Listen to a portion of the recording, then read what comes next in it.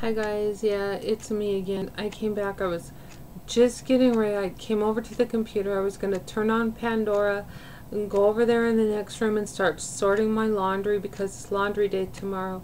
But then I checked my emails and my good friend Barb, my dear friend Barb sent me this email that says the United States is nervous and it sends Army General to calm down Israel it says the Obama administration is sending the head of the U.S. Joint Chiefs of Staff, Martin Dempsey, to Israel this Thursday to try to change what it sees as Israel's increasing readiness to attack Iran.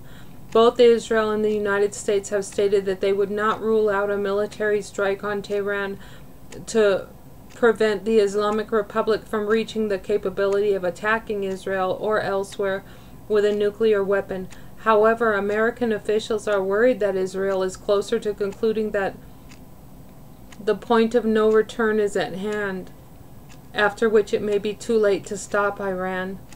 With 15,000 soldiers, diplomats, and contractors in Iraq, Iran's neighbor Washington is worried that an Israel I'm sorry, with 15,000 soldiers, diplomats, and contractors in Iraq, Iran's neighbor, Washington is worried that an Israeli strike would place him in danger.